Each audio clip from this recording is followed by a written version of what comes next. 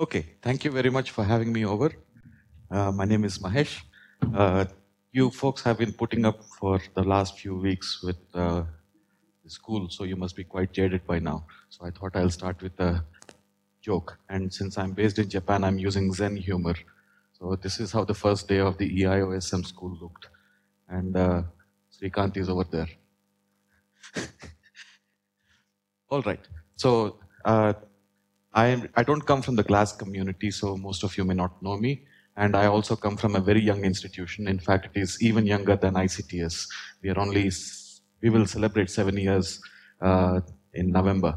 I am based at OIST, Japan, uh, and we are a very young but fast growing place. Adding, we are about 65 faculty and we are hiring about seven to eight faculty per year in mathematics, physics, life sciences, chemistry, now we are expanding in marine science and computer science. And uh, you folks might be planning for uh, faculty opportunities in the future. So please keep, them, keep, keep us in mind.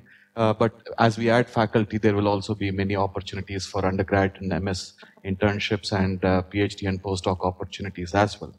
We don't have departments. We are uh, an interdisciplinary place uh, and English is the language of communication, even though we are based in Japan. So we are an international graduate university based in Japan. We have no undergraduate program. No, they are real buildings. In fact, the architecture is styled along the uh, Okinawan forts. So we are not based in mainland Japan. We are in the southernmost part on the island of Okinawa. And to tell you a bit about what I do, you can look it up from my group webpage. I have interests in hydrodynamics, in quantitative life sciences, uh, statistical physics of energy and sustainability, which is linked to what I will discuss today, uh, mechanics of amorphous media, and you don't see blue highlighting here because I, I'm in the process of putting a pause to it uh, until I get some new ideas uh, that I would like to pursue in disordered solids and such. And then a bunch of random, unrelated, unclassified problems that I could not put in any of these categories. Uh, and I will be on sabbatical for the rest of 2019. But uh, if you're interested in PhD or postdoctoral opportunities, I will have some starting from Jan 2020. So let me stop there and get into what I've planned to discuss. So the problem of glasses uh, has been going on for several decades, but I want to impress upon you that we have been working at turbulence for much longer. And let me start with Leonardo da Vinci's sketch from uh, the year 1510 of the Common Era, uh, where uh, uh, he captures all the beautiful structures that we find in turbulent flow. and the reason I was joking the other day, the reason why the glass problem has not been solved is because the Russians haven't gotten on the game yet. Well, a Russian did get in on this, and that is the only perhaps exact result we have in this field. Okay, so what I want to discuss today is uh, a variation on uh, that Russian's work. And that Russian was Andrei Nikolaevich Kolmogorov. And he wrote two beautiful papers in the year 1941. And the first of those two papers had to do with the spectrum of velocity fluctuations in a turbulent flow. The turbulence is notorious as the graveyard of theories. Many brilliant minds have racked their brains trying to understand this problem and have, uh, uh, and it still defies us. Uh, there are many jokes about it, uh, uh, but I'll, I'll, pass on. Uh, but the spectrum that, the calculation that Kolmogorov did in 1941 for the velocity spectrum uh, requires an experimentalist. I'm a trained experimentalist, so I'll explain it in simple-minded language as an experimentalist understands. Uh, if you have a turbulent field and you have fluctuations in velocity all over the place, uh, then uh, in order to calculate the spectrum as a function of space or wave vector, uh, you have to make a field measurement. That is, you have to make instantaneous measurements at all positions uh, in space uh, at a single time instant. But in early measurements, we could not measure at every spatial location in the field. We could make, we could do measurements at a particular point, what we call an Eulerian measurement. Typically, they would uh, comprise a measurement with what is known as Doppler, uh, laser Doppler velocimetry or a hot wire anemometry. More uh, recent particle imaging velocimetry or particle tracking velocimetry techniques using high-speed imaging are relatively recent in the past decade and a half or two. So The early measurements did not take into account the strict requirements imposed by Kolmogorov theory. And yet they worked for a reason I will explain later, and then how it diverges from that framework. Be that as it may, even though Kolmogorov theory concerns a field measurement, in uh, our daily life, we come across many situations where we have point probes, uh, uh, say for a wind turbine uh, in a wind plant or uh, for meteorological measurements, or maybe an insect that is uh, a male insect that is tracking a pheromone to trace back its female mate, or a drone that is flying across in an unsteady medium. Now, these are static cases, but these two examples are not static. They are moving in this turbulent field, but they're not what we call Lagrangian particles in this following sense. Or what we mean by Lagrangian is you think of a passive tracer in this turbulent field and it is passively attracted by this field. It is not, uh, uh, it does not have a mind of its own. That is, it does not execute its own trajectory. Okay? So, uh, the problems I will discuss, uh, uh, or the theoretical uh, framework I will discuss that diverges away from Kolmogorov's ideas has to do with the fact that these are legitimate physical uh, scenarios we uh, come across uh, in our daily life, and they represent a legitimate measurement of their own. Sometimes they are probes of velocity, but sometimes they are higher, higher powers of velocity, they're functions of higher powers of velocity. So how do we deal with such measurements? So the outline will be, I'll give a brief review of uh, turbulence in three dimensions and two spatial dimensions. And then I'll get into higher order spectra, which is spectra for higher powers of velocity. Then I'll detail experiments that we conducted in two and three dimensional flows, and then I'll get into applications. Okay? So one way to look at turbulence is to think of the transfer of the energy from the mean to the, to the fluctuations. So when we look at it that way, uh, it turns out that turbulent kinetic energy is transported in fluid parcels uh, that we loosely call eddies. Eddies are not uh, strictly defined uh, entities. Uh, some people tend to associate them with uh, coherent structures like vortices. They may be, but they need not. An eddy has some spatial extent over some finite time period, and when it passes a stationary observer like an Eulerian point probe, it registers a fluctuation. So those fluctuations are what link the essential length and time scales in turbulence. So I'm setting up the terminology now. The length scale r uh, and its reciprocal is the wave vector k, and the time scale tau and its reciprocal uh, frequency f. And these length and time scales are the ones that sit in what we call the inertial range of turbulence. So the way it works is uh, we have uh, a range of length scales within which you have turbulent action. Uh, at the smallest length scale, you have uh, the Kolmogorov scale or the dissipative scale eta uh, or its corresponding time scale, below which uh, energy is dissipated through viscous action.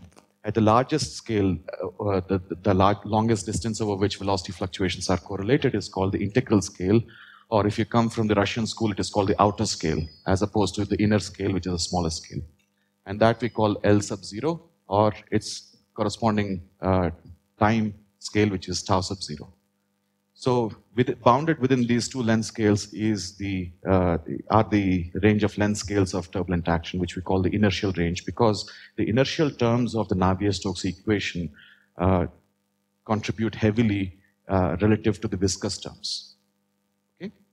Now, the way Kolmogorov set up his argument was, if I have this turbulent field and I uh, as an experimentalist would do if I take two velocity probes and make measure, simultaneous measurements of velocity at, uh, some, uh, at two points in space separated by this distance r, and I take get two velocity vectors for those two.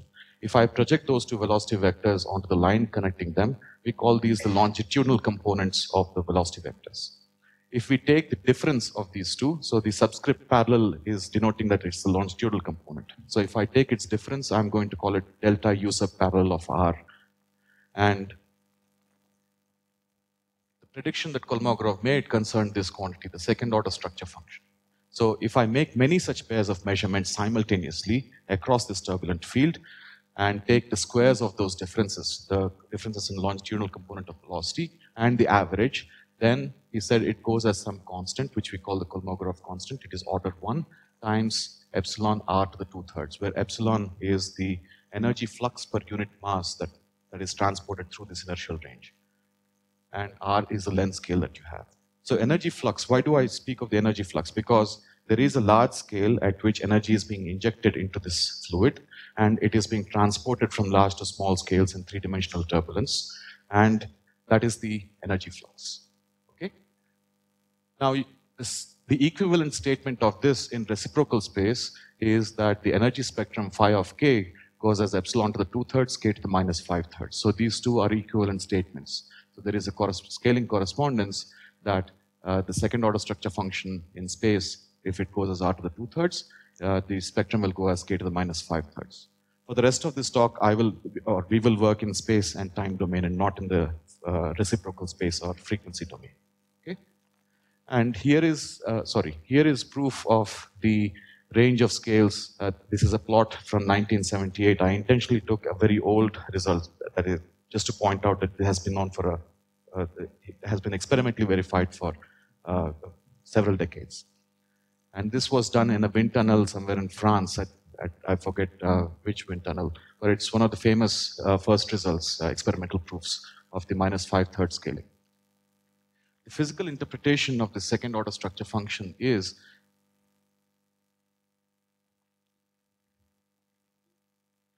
yes. Yes, so this is the inertial range.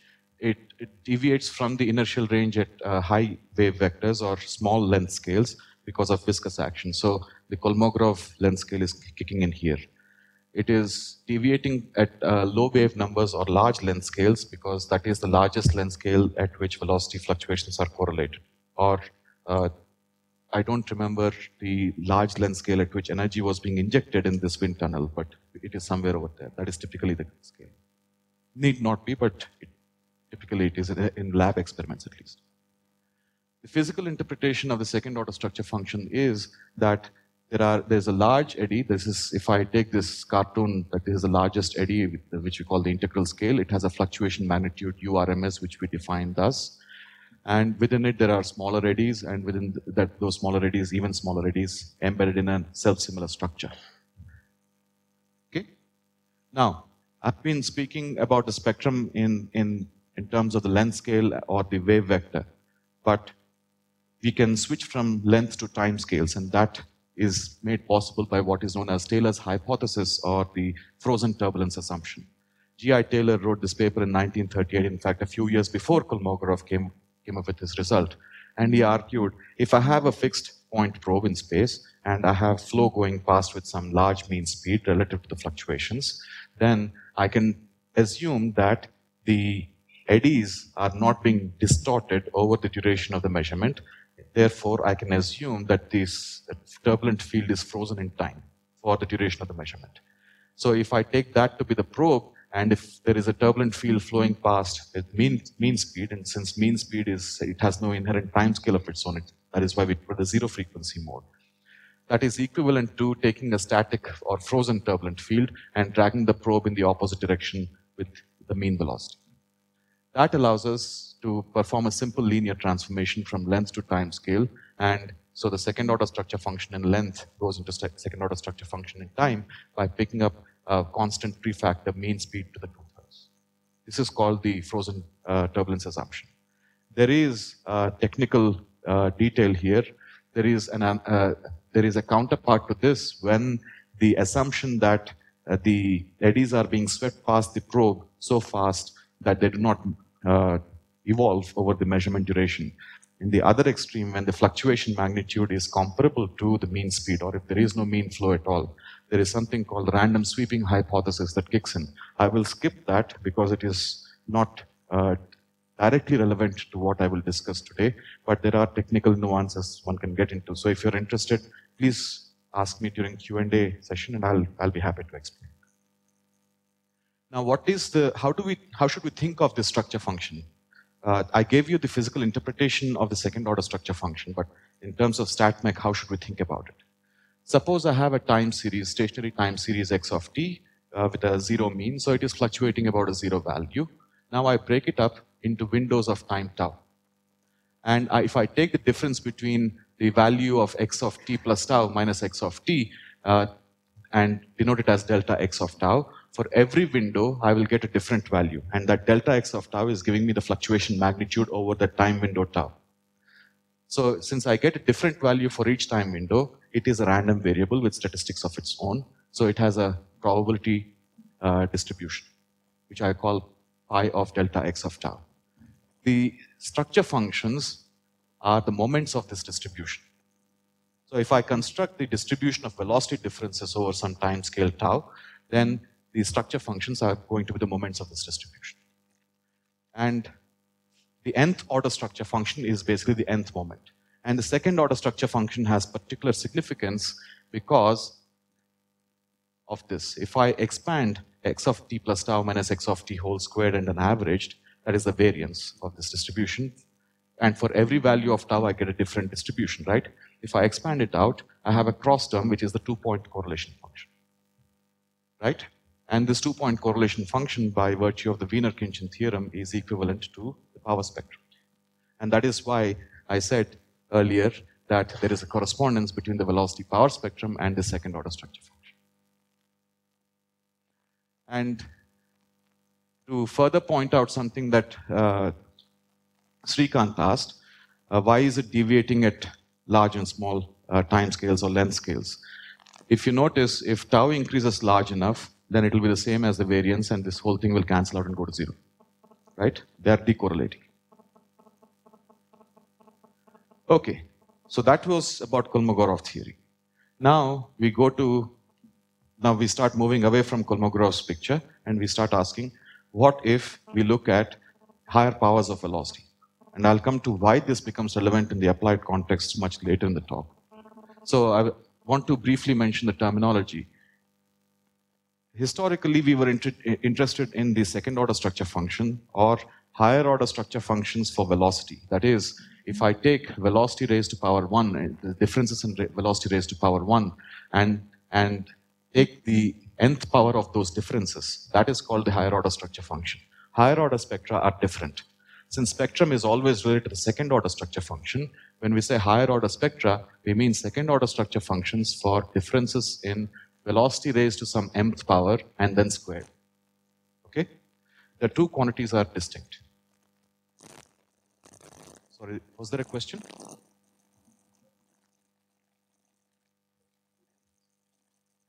No.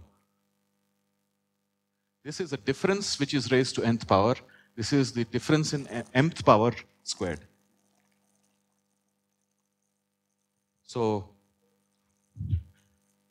u of t plus tau minus u of t squared and then averaged. Or if I take nth power, then this would be s sub n raised to uh, superscript 1 of tau.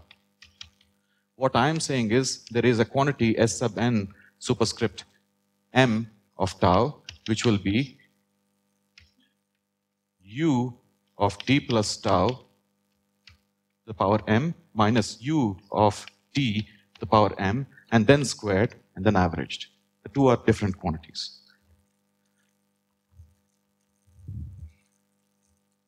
So we will be interested in this quantity.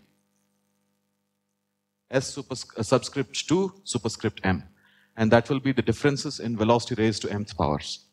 Now, Dutton and Deaven in 1972 asked an interesting question. They asked, if we assume that the, Kolmogorov said nothing about uh, velocity raised to higher powers. He was interested only in velocity. Yeah, they asked, if we raise this to higher, uh, higher powers of velocity, and assuming there is some inertial range scaling, what scaling should we expect? And if we do a simple dimensional analysis, it comes out that the exponent gamma goes as 2m over 3. So therefore, the first order structure function, sorry, the second order structure function for velocity raised to power 1 will go as tau to the 2 thirds, which is Kolmogorov. For velocity squared, so there's the spectrum of kinetic energy will go as tau to the 4 thirds, and velocity cubed differences will go as tau squared and so on. But nobody sees this. And this has been known ever since their time. They had measured these quantities and they, did, they found that all of them scale as tau to the two-thirds. Later in 1975, there were further measurements in atmospheric shear boundary layers by Van Atta and Wyngaard, and they measured up to ninth power of velocity. All of them go as frequency to the minus five thirds or tau to the two thirds. And the reason for that is quite a simple one actually. It has to do with this simple algebraic decomposition here. So if I have a squared minus b squared, we can decompose it as a minus b times a plus b. Similarly, a to the power m minus b to the power m will be a minus b times an m, m minus 1th order term.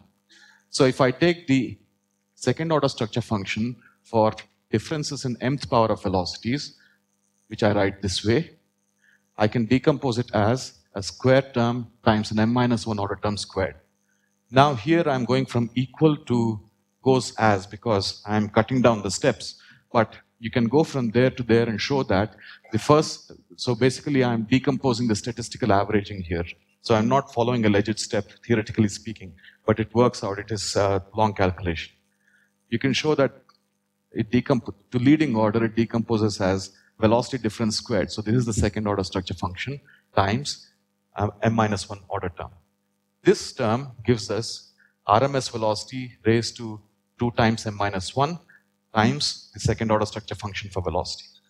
Now, this, if I apply uh, the Taylor hypothesis, scales as tau to the two-thirds. As a result, no matter what power I raise velocity to, in terms of scaling, it will go as tau to the two-thirds, not dimensionally as shown here. Okay? Now, RMS velocity, I mentioned earlier, is the velocity fluctuation of the largest eddy. And this puts us in a kind of trouble.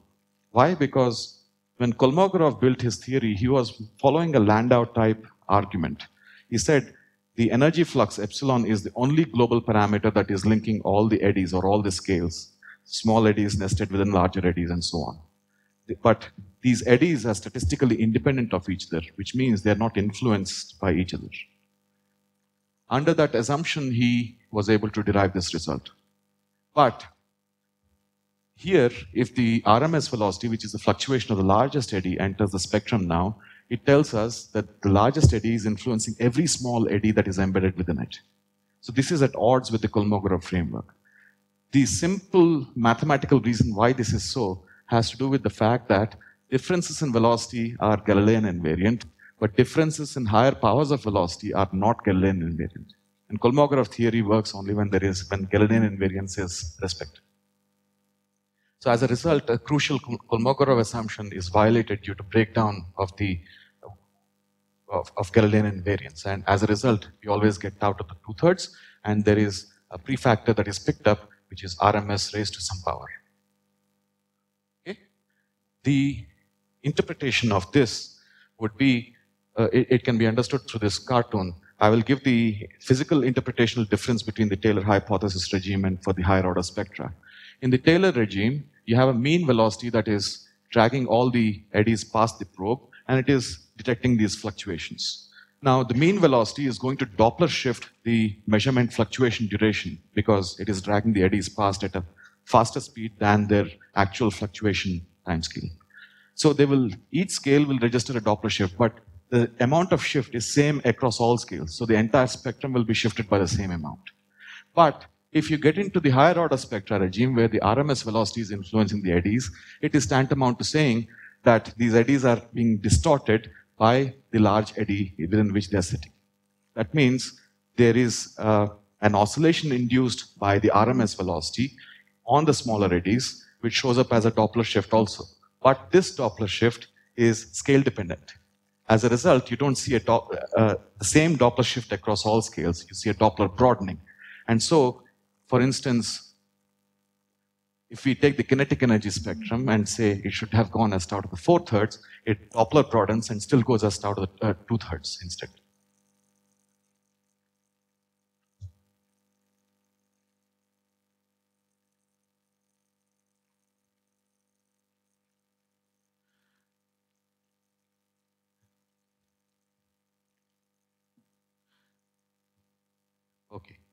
So, yeah, this is the point I wanted to make that the RMS velocity is inducing uh, an oscillation of time scale R over URMS. So this is the scale dependent factor that is entering. Okay, and the whole spectrum undergoes Doppler broadening. Now, if we move from, so far I have been talking about point measurement. Now let's suppose I have a field and I'm making simultaneous measurements at different points, so I have discrete points. But I'm not going to follow the Kolmogorov framework of taking differences in pairs. Instead, I will sum, because I'm not working in the space domain anymore, I'm actually working in time domain, right?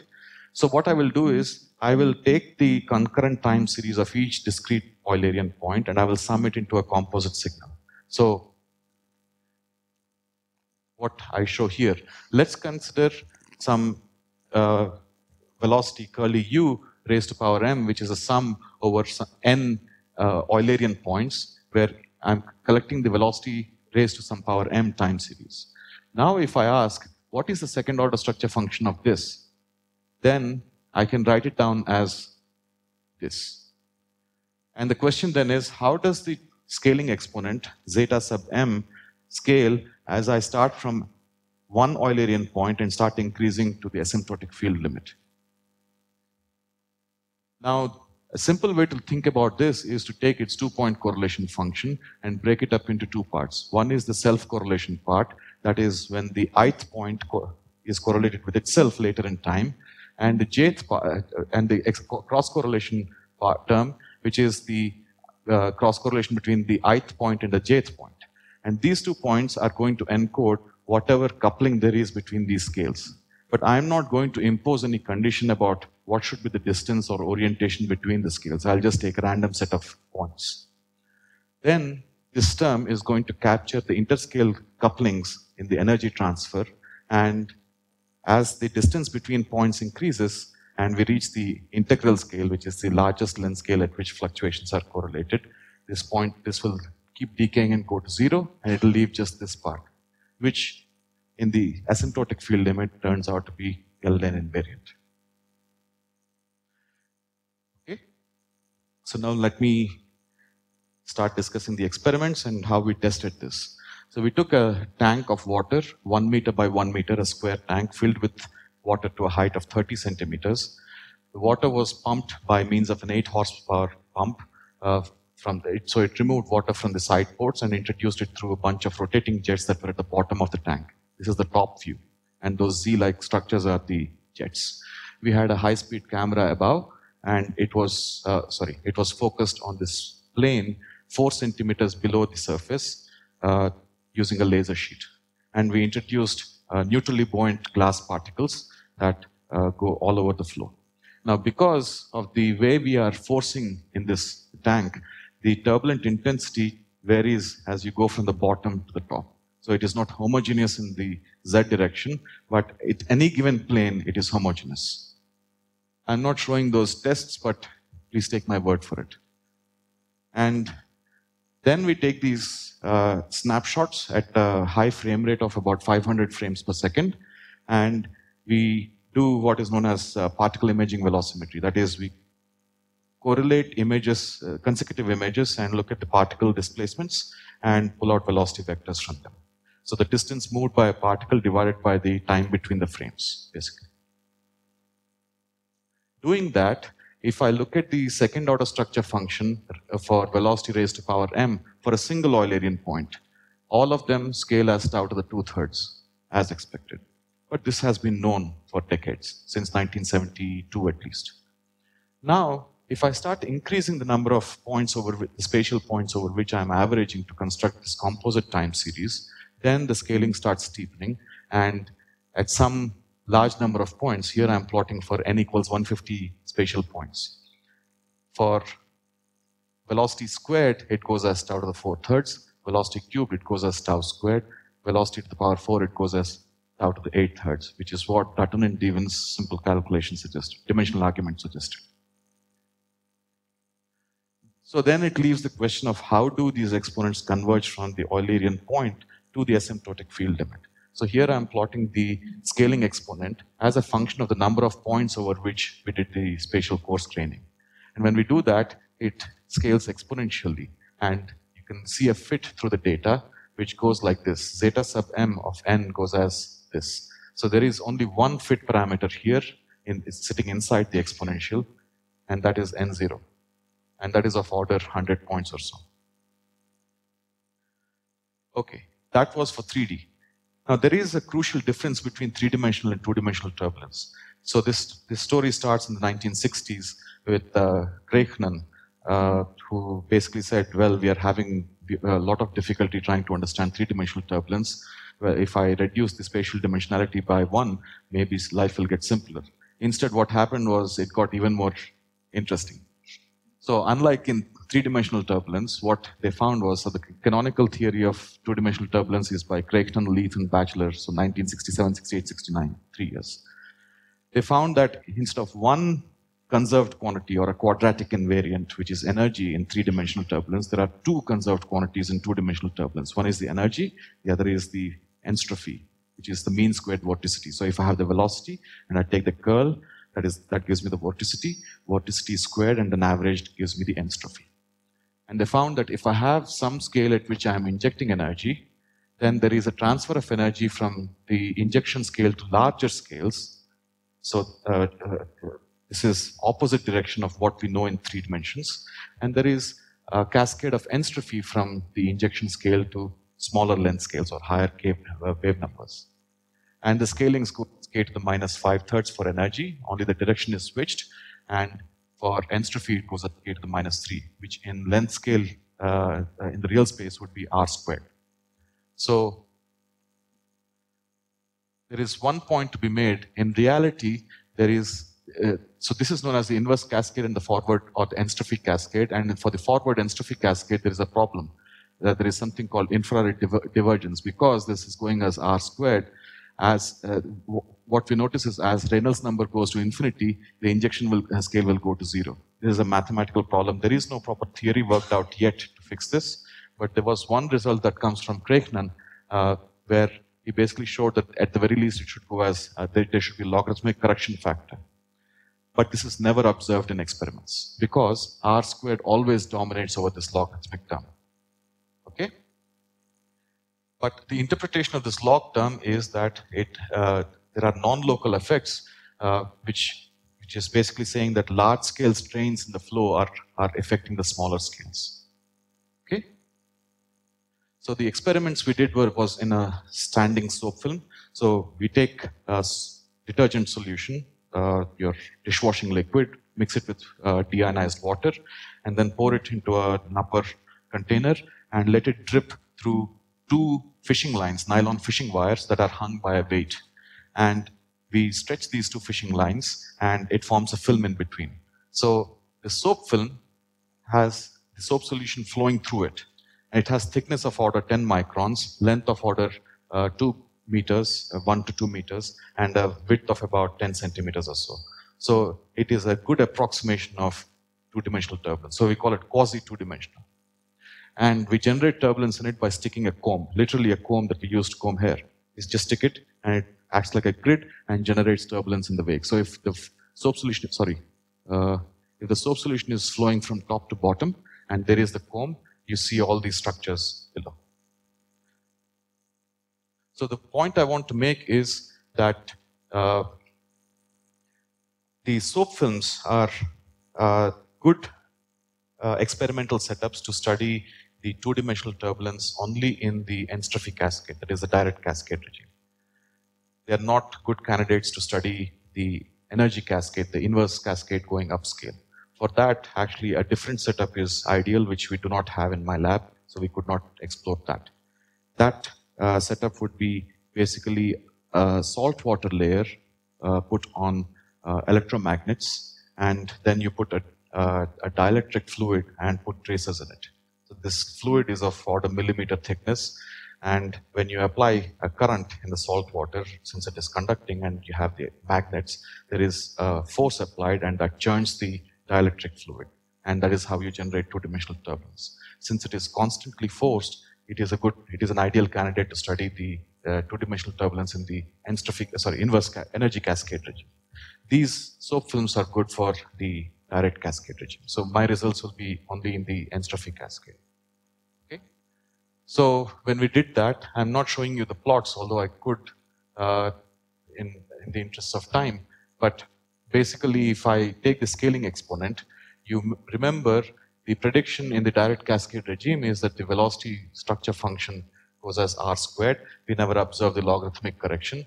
But if I look at the scaling exponent evolution, it starts from about 1.54.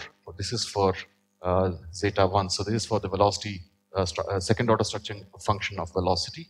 This is for velocity squared, velocity cubed, velocity to the power 4. And uh, on the x-axis, I'm plotting number of points. And you should see that it is going logarithmically because y-axis is linear, x-axis is logarithmic. This would suggest, and since the, in the theoretical argument I presented earlier for these, uh, uh, for the summed concurrent time series spatially, and I said that as I increase the number of points, the uh, it is capturing the cross correlation term is capturing the interscale coupling.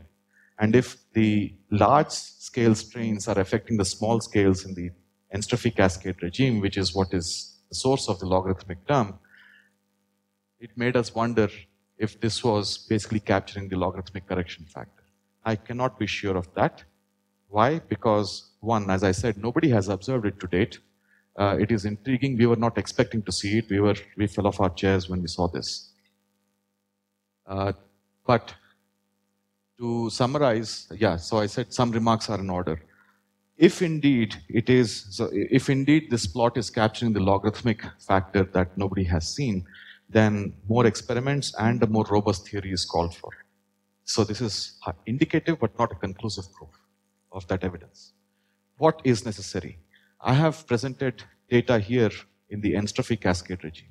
If experiments are done in the inverse cascade regime and they do not see this, instead they see the exponential increase as I showed you for the 3D case, then it lends credence to the fact that uh, this is this may be an art, this is a feature of the entropy cascade uh, only.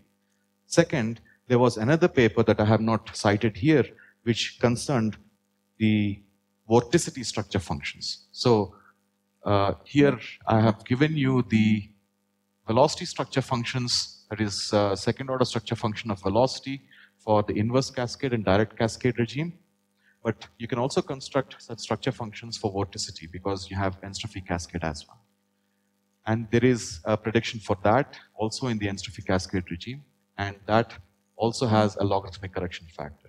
So if somebody were to do this experiment, uh, since we did not have high enough resolution to go there, we could not do it. Uh, but if somebody could do an experiment or a direct numerical simulation, and if they find that there is a logarithmic uh, behavior for scaling exponent the way we have set it up, then it lends credence. And finally, there is no theory for higher order spectra in two-dimensional turbulence. The results I have shown you uh, uh, earlier were for three-dimensional turbulence. And in the absence of a theory that takes into account that, that uh, explains or uh, uh, works out this infrared divergence problem, only then can you go and work on higher order spectra. So there is a nice theoretical problem here if anyone is interested. So that is the brief summary. I, that those are the remarks I wanted to make. And uh, if you're interested, this work is now done. Uh, the experiments were done by my postdoc, Florine Paraz, and she has now moved on to her next destination. And the work is in review.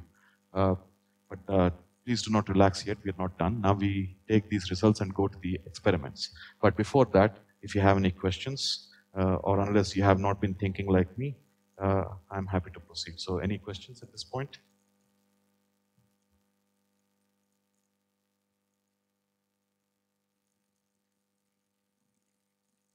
No, it has to do with the fact that soap films are forced by gravity, right? And if you stick a comb, it is the two-dimensional instance of a wind tunnel. You can think of it that way. So the turbulence is decaying with distance. As you move away from the comb downstream, the turbulence is decaying. And in the decaying, but at any given spatial point, it is going to be stationary uh, in time. And the decaying turbulence is, uh, uh, 2D uh, turbulence is an ideal candidate to study the entropy cascade regime. You know, for to study the energy cascade, the inverse cascade regime, you need constant forcing. And that is best achieved in these electromagnetic layers. That is the reason it does not work. There is one way people have tried, but it was not the best way to do it because electromagnetic layers work much better, which is if you have this soap and you have flow this way, and this is your comb, and it generates turbulence. This is the entropy cascade regime I was talking about. But instead of having the comb horizontally, if you have the comb vertically, then the turbulence is generated and it comes in like this. And if you make your measurements in a window somewhere here before the, the comb ends, then you, you have quasi-stationarity. Then also you can see the inverse cascade regime, but over a very limited set of uh, distances. But electromagnetic layers do much better than this scheme of SOAP so we did not go in for Sorry? This one? That is the injection scale. That is the scale at which you're in injecting the energy. Ah, in our experiments, that is basically the spacing be between the teeth of the comb.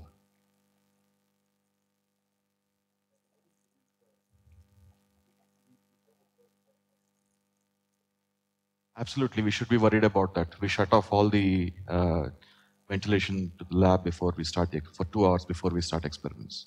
And we yes, so uh, there will be thermal fluctuations, uh, but the mean flow is so high here. yes. But if the soap film gets really long, you have you you need to start worrying about flow going sideways because of Coriolis effects. You can detect that. Any other questions? If not, I'll proceed to apply these results to wind power fluctuations. So even though I have referred to turbulence as a graveyard of theories and that we have only one Russian who got into the game and gave us a beautiful result, and everybody else including myself, has been doing a variation on his results since then.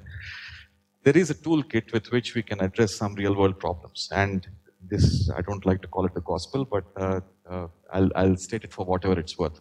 When we think of uh, renewable energy or sustainability and issues that matter to all of us, yes. Yes.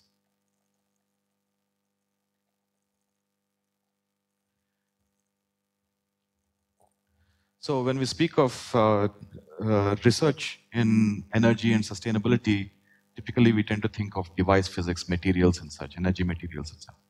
But I would like to argue that there is actually a role for us statistical physicists to play also through fluctuations. Why? Because all sources of renewable energy have inherent variability in their source. In wind energy, that comes from turbulence. In solar photovoltaics, it comes from clouds that are passing by. In wind energy, the noise that is generated due to turbulence is additive in nature, but in solar photovoltaics, as I hope to show in a few months from now, it is multiplicative. So there is there's a lot of scope for us statistical physicists to actually contribute to this, uh, this problem. So we have done some small, we have played a small role in that by using these results. Uh, so as I said, uh, uh in application to wind power, the way the, the power generated by wind turbine uh, varies with the speed that is uh, speed of wind blowing past the turbine. It comes through a dimensional uh, uh relation where the power goes as velocity cubed. This is uh, a dimensional argument that goes back to Lanchester from the year 1915 and through independent derivations by uh, Nikolai Zhukovsky and Albert Betz both in 1920. Zhukovsky was in Soviet Russia and Betz was in Germany. Lanchester was in UK. But it is known as the Betz equation. It's a classic case of Stigler's law of eponymy. The first person to come up with the result never gets credit for it. And Stigler's law is by Merton Miller, not by Stigler.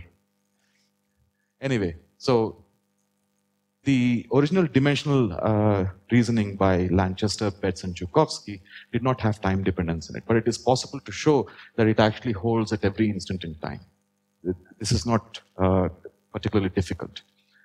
Now, if I have fluctuations in power arising due to fluctuations in velocity raised to uh, power 3, then we want to understand the spectrum of this. Why? Because when the power in a turbine fluctuates and many such turbines in a wind plant are feeding to the grid from many geographically distributed wind farms, what are the fluctuations at the grid level? And that grid was not designed to handle such fluctuations because the electrical grid we use was designed to handle uh, power generated from nuclear or coal-fired power plants, which have high inertia and they ramp up slow and uh, uh, uh, ramp up or down slow. Any deficit in the uh, consumer, uh, uh, in the electrical power due to consumer load fluctuations, because we randomly turn on and off uh, appliances, comes from very inefficient but very high response gas turbines. So that is how we work today. But if we are going to add more and more wind turbines into our energy mix, we have we need a smart grid that people speak of that can account for such fluctuations. Now, what is the robustness of that grid that we need to design for to handle such fluctuations? Now, what people have found, uh, I'm showing you only one source, but I'm aware of several uh, sources, uh, is that uh, the spectrum of power fluctuations in wind power also follows a frequency to the minus five thirds. And this was attributed to the Kolmogorov minus five third spectrum. This has been shown for a single turbine in Germany. This particular plot is for a bunch of uh, six turbines in California. There is another one which comes from French Guadeloupe for an entire wind plant. All of them scale as minus five thirds. So trying to work out, I'm going to use the uh, higher order spectra, and we can actually show if I construct a second order structure function for power, wind power, and I write it down in terms of the velocity through this relation, then I can show that there are, it's a sum of three terms. This is the second order structure function for velocity, velocity squared, velocity cubed. But we saw that all three of them scale as tau to the two thirds. That is the reason why this goes as frequency to the minus five thirds. Okay? And we collected data from a single wind turbine in upstate New York uh, over uh, 20 days with uh, a time series that was sampled every five seconds. The correlation time was roughly half a day. Uh, that is no surprise because of the diurnal oscillations between day and night. Uh, wind speed tends to pick up during night time and slows down during the day. And if I plot the second order structure function of velocity, velocity squared, velocity cubed, and the composite structure function, which I call d sub 2 of tau, which is for power, all four of them scale as tau to the two thirds within the measurement error. It, there is a deviation at small time scale for the power because the turbine has an inertia. And every turbine uh, manufacturer provides this as one of the design numbers. For the turbine that we were making measurements on, the response time scale is of the order of 30 seconds. That is why it deviates from there. Okay. Now, from these measurements, I can actually pull out the size of the largest length scale of turbulence in the atmosphere. That would be L0, which is the RMS velocity from the probes that we put on the turbine times the tau zero, which I got from the correlation function, which is of order of half a day. That gives me an estimate of 200 kilometers of correlation length. That tells me that turbines within a distance of 200 kilometers from each other are all correlated in their fluctuations. This is not good news for us because if we assume there, there is no correlation between turbines uh, geographically apart, then I can assume that they're all independent and therefore the fluctuations would average as square root of n. But that is not going to happen because I have to worry about turbulence in the atmosphere. And the atmospheric flows are, as we know, very long range. Right? So there are consequences to be dealt with at the grid level. So, and this is not just a back of the envelope estimate. People have gone and made these measurements and they found the correlation length for Texas is 300 kilometers. Germany was 375. For all of Europe, it is 640 kilometers and such. So if I take this to be the correlation length from now on, then now I can ask what will happen at the, the plant level. Now, there are three sources of turbulence I have to deal with at the scale of a wind plant. One is the turbulence that is generated by the turbines in their wake. Second is due to the atmospheric boundary layer, which going from the, the earth to uh, going vertically up. So for this, uh, boundary layer turbulence, boundary layer is of the order of one kilometer. For plant generated, is of the order of the size of the plant itself. And then there is atmospheric turbulence, which has a correlation time of half a day. If I look at all three, this one is going to win out because it has the longest time and it is acting above all the others. And therefore, at the plant scale, it is going to behave at, from the standpoint of atmospheric flows, it is going to behave as an integral turbine. And when I take data from Texas, and for a single plant, I see that it goes as tau to the two thirds. And for four plants, it goes as tau to the uh, uh, 0.89. And by the time I add 20 plants, it reaches tau to the 1.34 or tau to the four thirds. Okay? But there's a problem. I said if power goes as wind speed cubed, then it should go as tau squared. Why is it going as uh, the second order structure function velocity squared, which is tau to the fourth hertz? And that is because of the way we are doing the spatial averaging of this uh, temporal signal. If I take this second order structure, sorry, the two point cross correlation, uh, two point correlation function of power, which is a composite of time series from every turbine in every plant spread over some geographic zone. Then we have the self-correlation and cross-correlation terms, which I explained before.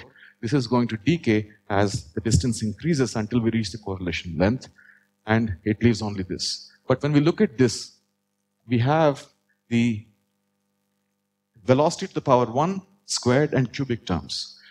The linear and cubic terms are odd functions. So when I take an instantaneous snapshot of all the wind turbines in all the wind, uh, wind farms, they are going to fluctuate negative and positive and get suppressed. The quadratic term is always positive definite and it gets amplified. So it is controlling the two-point correlation function, which goes as tau of the fourth hertz. And that is why we see that it goes up to tau to the fourth hertz and stalls there, because that is a natural limit imposed by